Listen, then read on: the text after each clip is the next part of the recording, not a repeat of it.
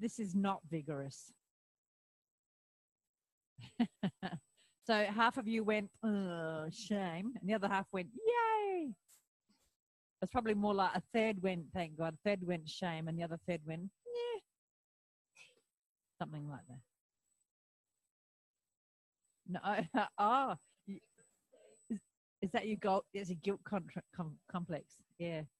So I thought that was the Methodist guilt complex because I was brought up Methodist, but then my Catholic friend said, no, that's the Catholic guilt complex. So you can we can fight about whose denomination, um, or the, I don't know what the Muslim English guilt complex. So there's no Japanese guilt complex. There's no uh, German guilt complex. There's no, maybe there is. I don't know. Maybe we just all, lie on your side. And we're going to study the theory. This is for you, Julie. We're going to have the, the theory of comfort.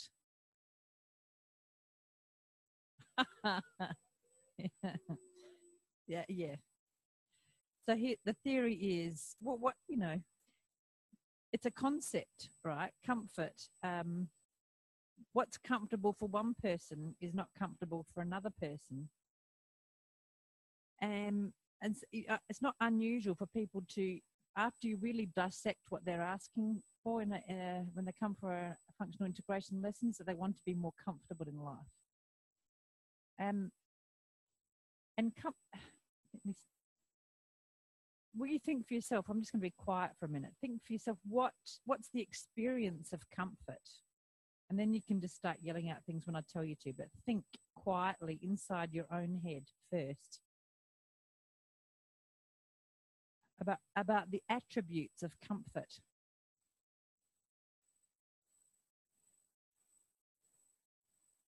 Comfort food, comfort furniture, comfortable environment.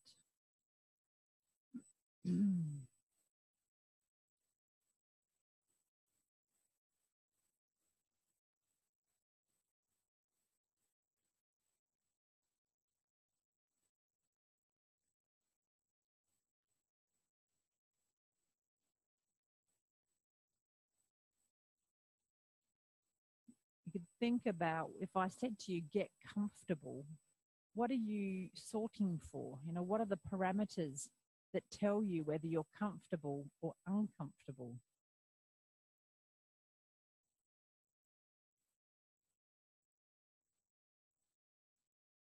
Is it possible to be too comfortable?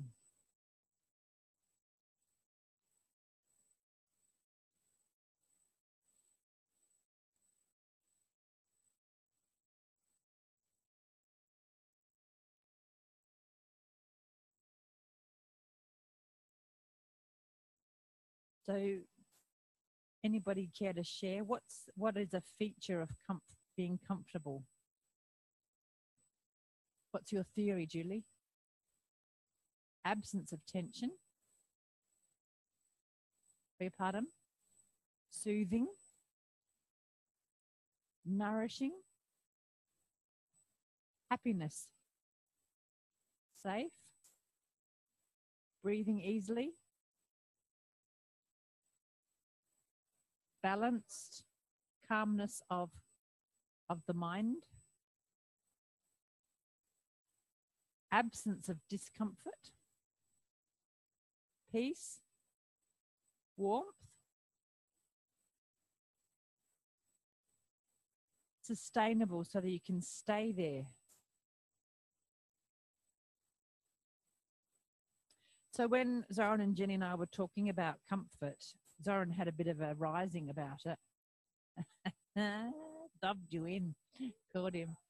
Uh, because we can equate comfort to more with the going to sleep and zonking out, like winking out of life, as opposed to being ready to either zonk out or rev up. Right? Sorry? What was your word? Potency, yeah, that kind of thing. So it's not necessarily what Feldenkrais is talking about that being that sort of state of potency is not necessarily a state of comfort. Let's say it's a state of equipoise. So I've used that word this morning. This sort of equality of poise, which for some people actually is, is a comfortable position. I'm just going to. I just have to do a big one, otherwise I do four. If I do a big one, there's only two. Um, so you could think about equipoise as being maybe it's comfortable. And could you then reframe comfortable to be the, that sort of state where you are comfortable to do, to go in kind of any direction, if you like?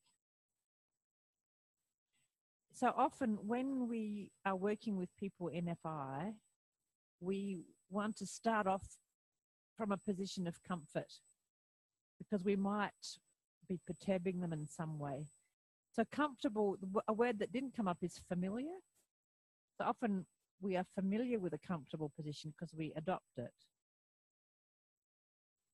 Sometimes we have to help people how to find out how to be comfortable.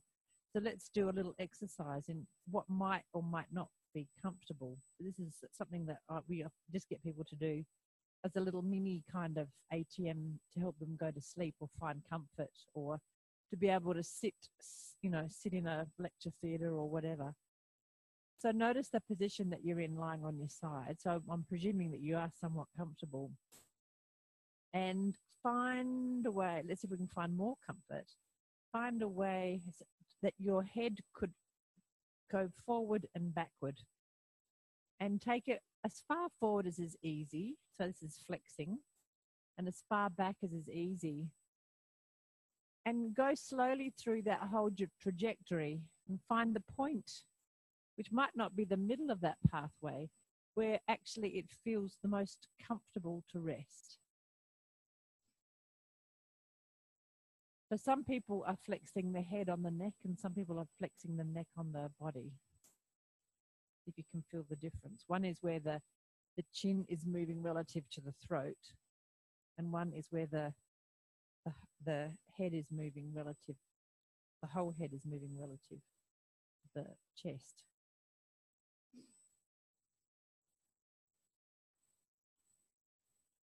So the middle is not necessarily the equipoise sort of position the position where if I said you're neither flexed nor extended, but you know, it's like it's let's say it's the Goldilocks position again. That's sort of just right.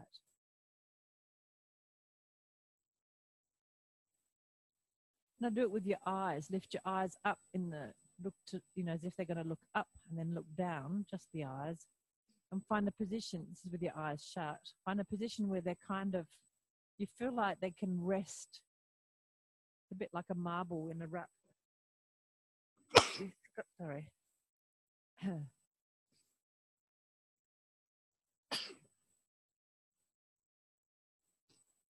I mean, often we actually don't even know what position our eyes are in when we're resting. so much for my theory of a couple of big sneezes gets rid of them. Sorry.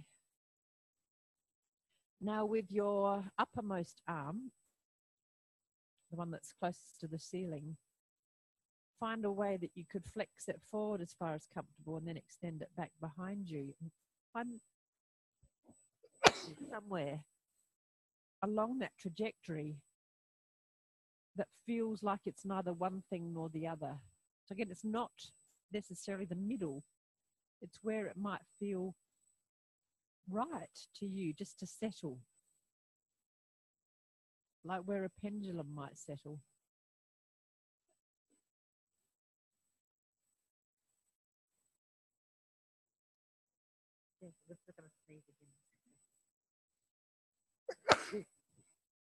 a pen where a pendulum might settle.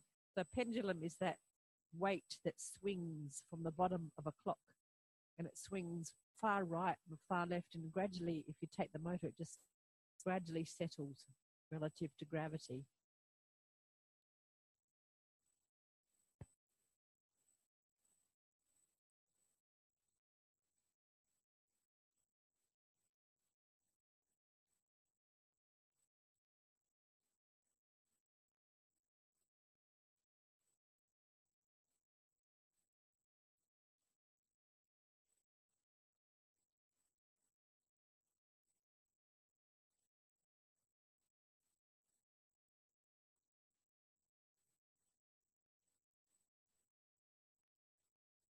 That's from the shoulder point of view. What about the elbow? So bend and straighten the elbow in its kind of full potential and find where that might feel. And that might dictate a little bit where the shoulder is, but that's right. Thank you. Just the elbow.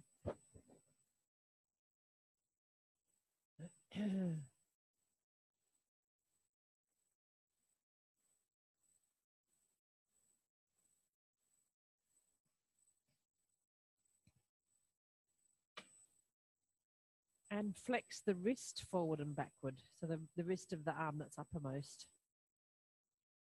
And find out where that feels kind of neutral, middle, uncommitted. You could say it feels a bit like Switzerland. You know, it's neither, it's not committed politically.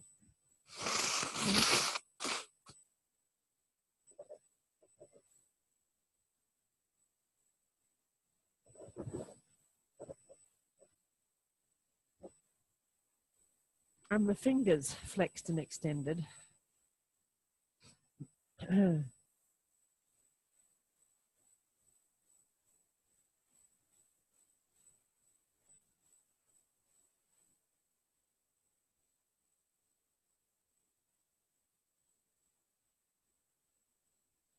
allow them to settle somewhere within that trajectory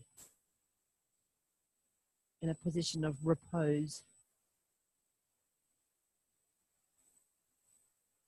Now the underneath arm, it's kind of hard to explore the trajectory of the underneath arm from the shoulder point of view. But you could slide it a little bit up and down on the floor, couldn't you? A little bit up towards the head and down. Just to see where in all of those positions the upper arm likes to lie.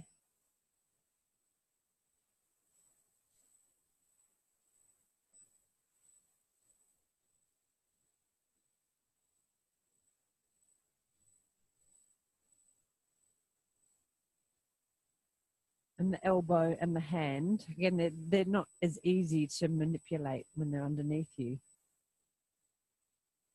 But you can be somewhat systematic. Whereabouts how much bending or straightening of the elbow? Bending and straightening of the wrist and the fingers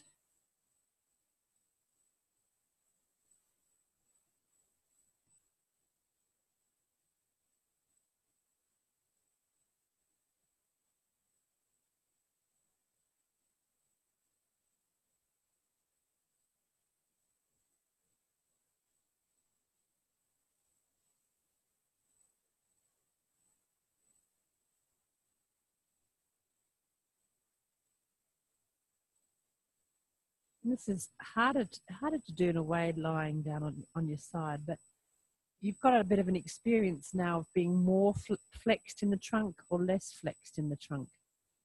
You know, that middle part of you that you accessed this morning.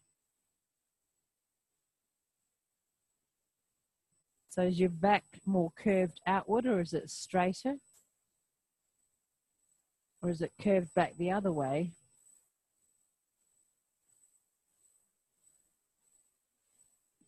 You find a way to explore those two curves, your back curving backwards, your back curving forwards. Because actually, in the room, some people do lie on their side with their back curved inwards, and, and some people curve it into flexion. So some people keep their back extended, some people flex it a lot. So again, we're exploring every if everybody extends their back a little bit and then flexes a little bit, and somehow finds out where their their little equipoise position is, where they feel kind of neutral.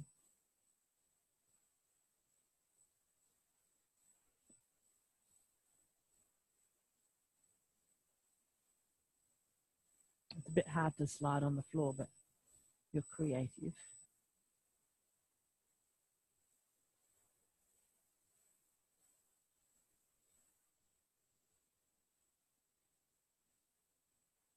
Remember hips.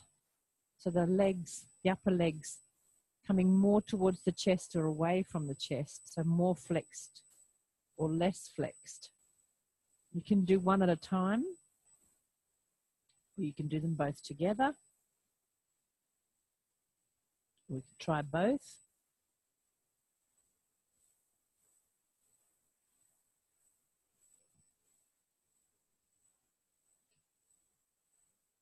Remember, I got you to do this this morning because you will immediately lay down with your hips relatively flexed. Whereas in Amherst, it takes a while to get them to all flex the hip because they all lay down like they're in a line. So you've got some experience of that.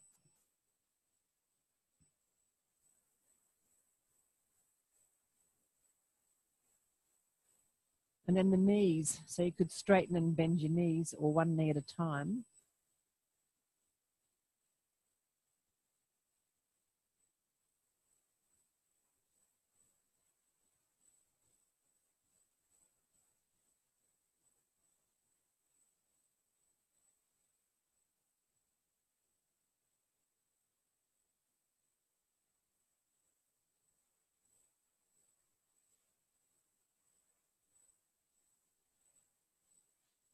Is it different for one leg versus the other, or is it more comforting to have the two legs together for you?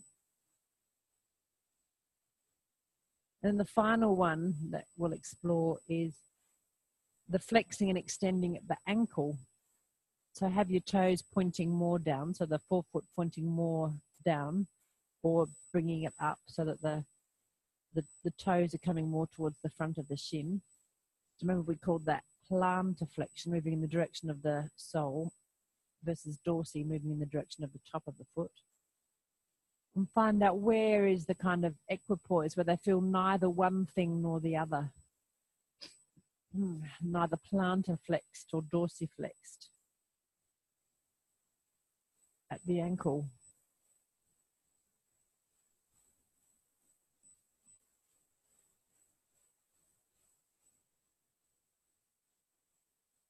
And it might be the same for each foot where they finally settle in the region of Switzerland. Or they might be slightly different, might be dependent on where your knee and your hip is for that leg.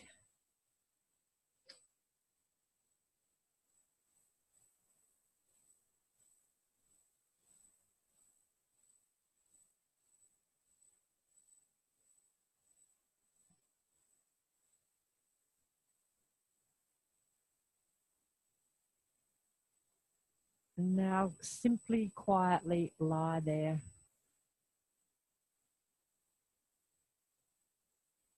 And allow your attention to sort of sweep over your whole self. A bit like a shepherd, just, you know, checking in on the flock that's all there, accounting for all the sheep.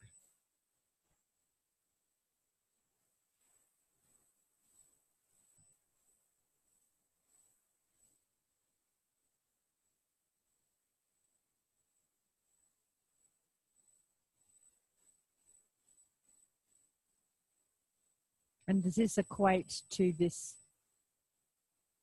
Does this tally up with this? You know, if we think about these two very related ideas of comfort or equipoise, you've kind of found the that mid zone sort of neutrality.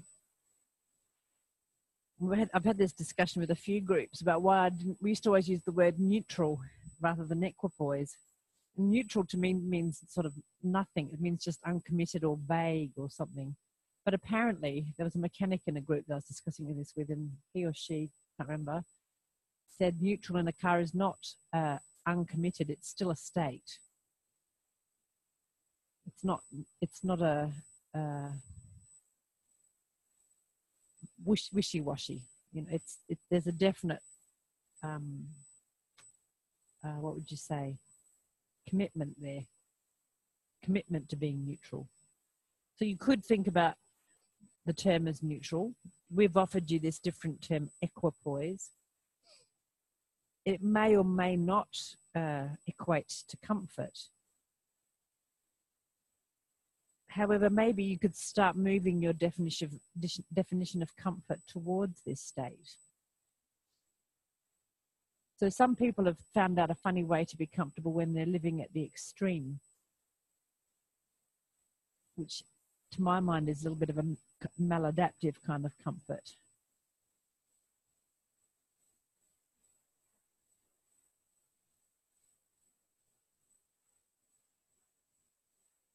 and maybe contemplate this notion that in this position you could just as easily fall asleep as if I now said slowly lengthen out, roll onto your back, and come up to sitting, that you could do either direction as easily. Off you go.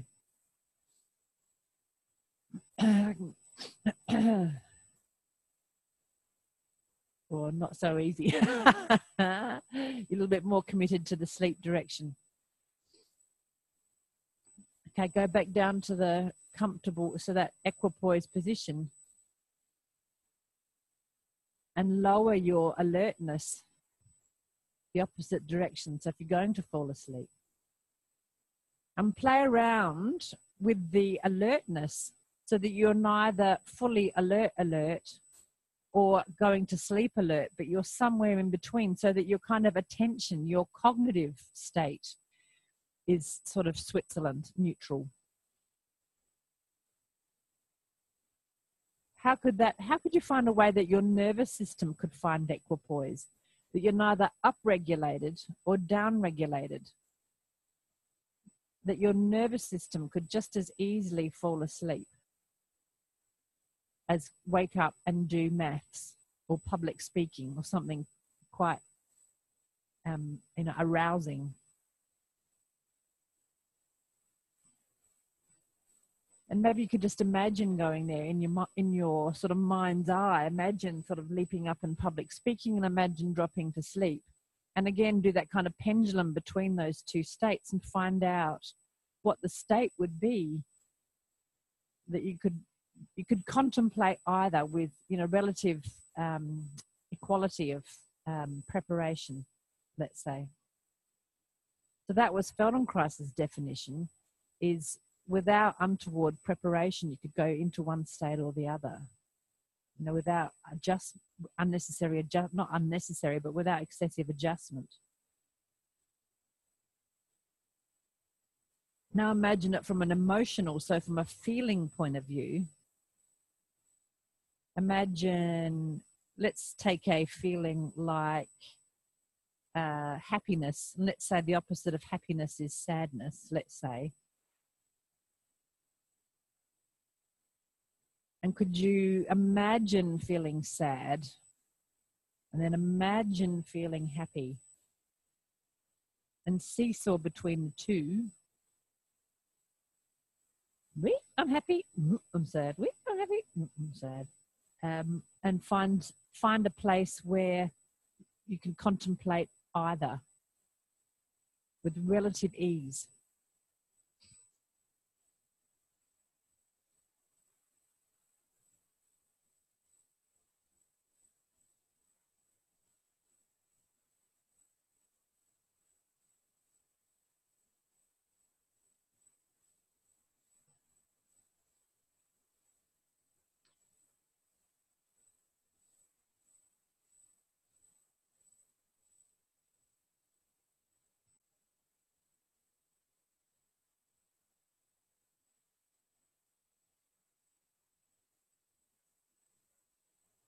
And if you if if that is makes any sense whatsoever could you maintain that kind of state slowly roll over and come up to sitting and then standing?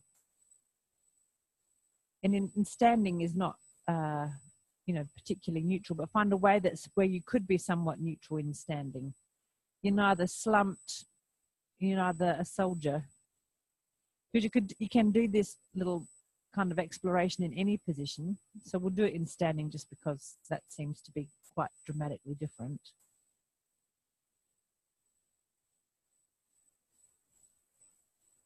So here the little adjustments might be um, a lot more subtle. There might be. Let's let's try. So you could have. We'll pick two. You can, the way you play this game is you just pick anything and you you pick uh, the dichotomy around it. So let's say the way you've got your weight on your feet, you've got your weight more on the front of your feet or the back of your feet. So more towards the toes or more towards the heels and sway so that your weight goes more towards the back and then more towards the front. Keep swaying forwards and backwards, but gradually, gradually the sway gets less and less and less until you kind of settle somewhere. It might not be the middle, like the, the middle in reality, but what feels like the equipoise state between forwards and backwards for you.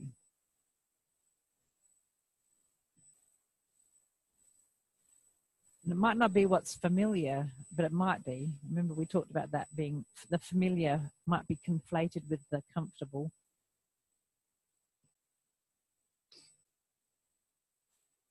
Now notice your knees. Are they are they bent or are they straight? So bend them more and then straighten them completely and go between those two dichotomies until you find a place that feels equitable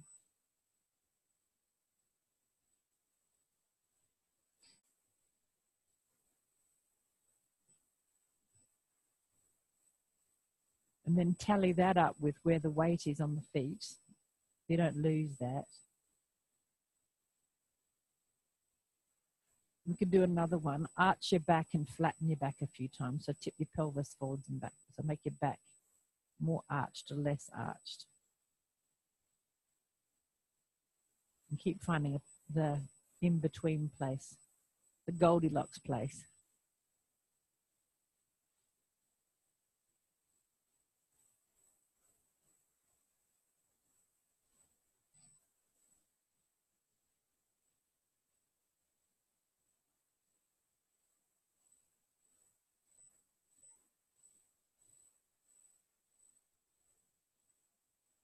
The shoulders. You could drop your shoulders forwards and brace them back. Again, find the Goldilocks place. So this idea of equipoise, poised equitably.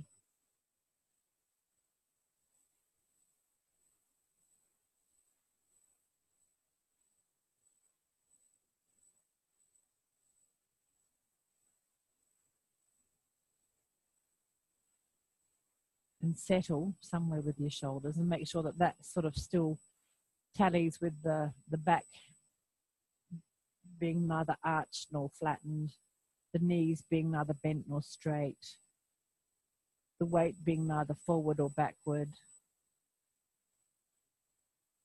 And you could find a position for the head. You could drop it forwards, a la Zoran's exercise, and then take it back.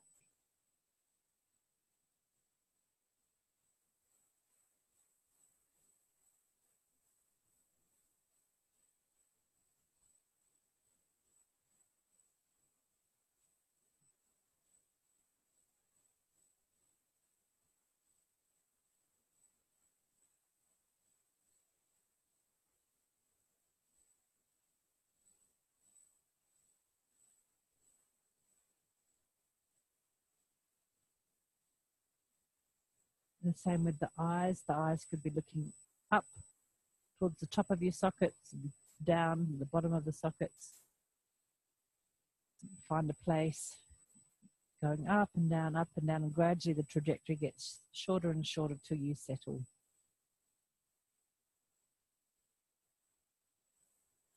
And you open your you can open your eyes and find out where that is.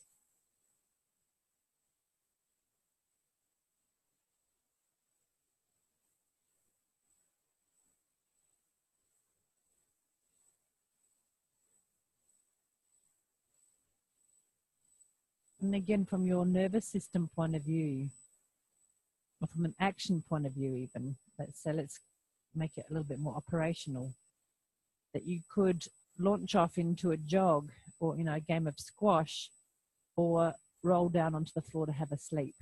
You could contemplate in your intention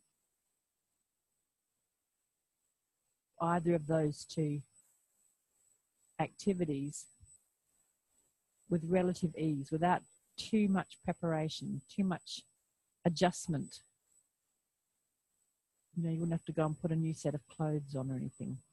Get a different, well, maybe to play squash. You might need a different mindset. Could you imagine going with equal felicity? Who is this chick called Felicity anyway? Some old bint. It's my Jane Austen period, pre Star Trek.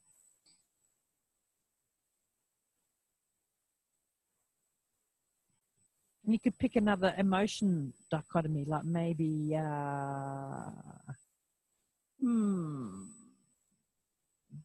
chilled out or anxious. Chilled out to the point of being comatose versus high anxiety. Just take yourself gently towards either of those poles and find somewhere where you're neither, you know, so chilled out that someone wants to shake you because you just don't care. So maybe it's more like over caring versus under caring, something like that.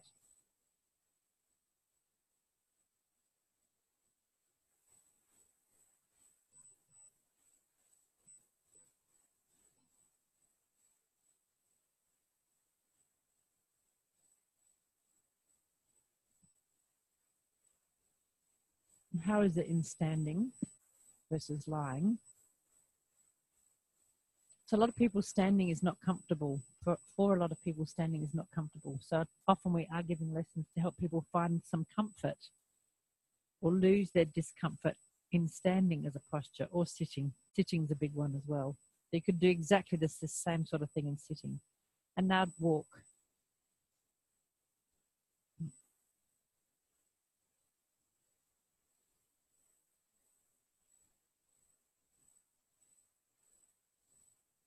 And imagine that in from this state of walking you could just as quickly go into a flat out run as stop and sleep on the floor. Could you imagine doing either of those things? Or are you a little bit more drawn to one than the other? How would you have to walk to have to find the middle? This is getting a little bit tricky now isn't it? What would be the internal sense